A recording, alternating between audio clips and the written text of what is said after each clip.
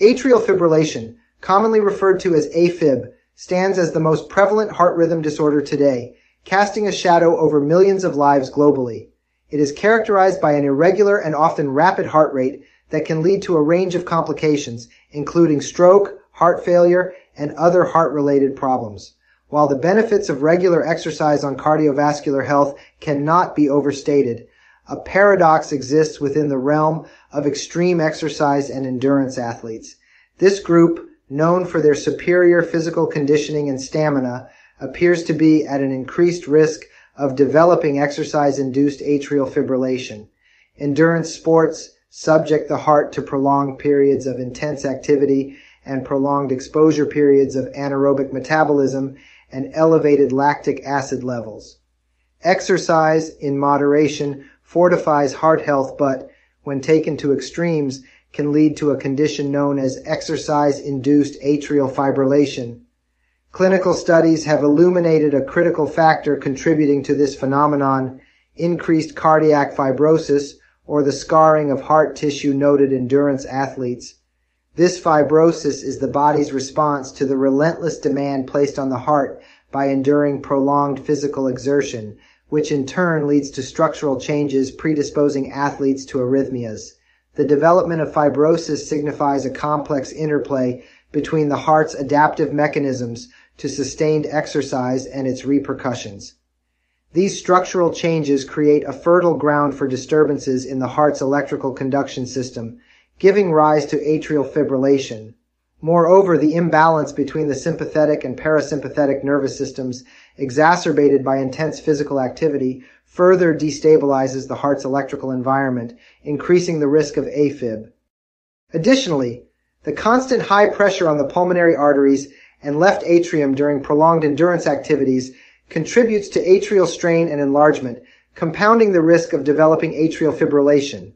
When it comes to managing exercise-induced atrial fibrillation, the approach is multi-pronged, aiming not only to reduce the frequency and severity of the arrhythmia, but also to address the underlying risk factors and symptoms. Lifestyle modifications often serve as the initial step in this journey, with a focus on adjusting training intensity and volume to alleviate excessive atrial strain and autonomic imbalance.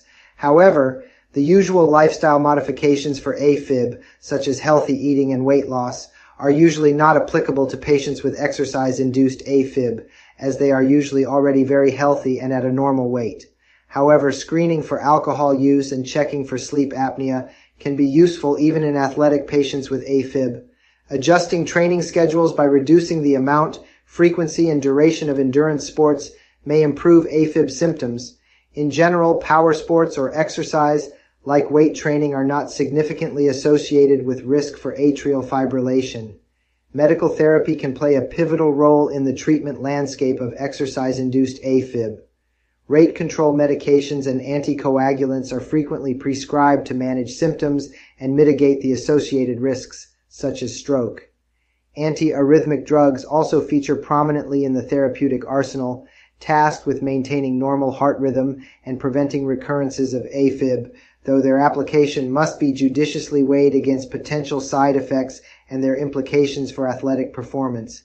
In addition, many athletic patients with AFib have a normal resting bradycardia or slow heart rate. As a result, treatment of AFib with medical therapy can be very challenging as most AFib medications tend to make the heart slower. For those cases where medical therapy falls short, catheter ablation emerges as a compelling option.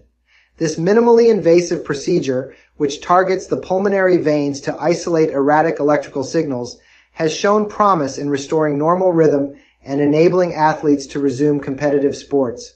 However, the decision to pursue catheter ablation is highly individualized, factoring in the athlete's specific condition and aspirations. In general, most patients that I have had with exercise-induced AFib chose a catheter ablation to improve AFib symptoms due to ineffectiveness or intolerance to medical therapy. The narrative of exercise-induced atrial fibrillation highlights a nuanced relationship between intense physical activity and heart health. While endorsing exercise as a pillar of a healthy lifestyle, endurance athletes are encouraged to maintain vigilance for signs of AFib and adopt a balanced approach to their training regimens. For those diagnosed with the condition, a tailored treatment plan that harmonizes the management of AFib with athletic pursuits and adjusting training schedules can facilitate continued engagement in sports while safeguarding heart health. In essence, the dialogue surrounding endurance exercise and AFib underscores the importance of a comprehensive and nuanced understanding of cardiovascular health. Through proactive screening, balanced exercise routines, and personalized treatment strategies, athletes can navigate the challenges of exercise.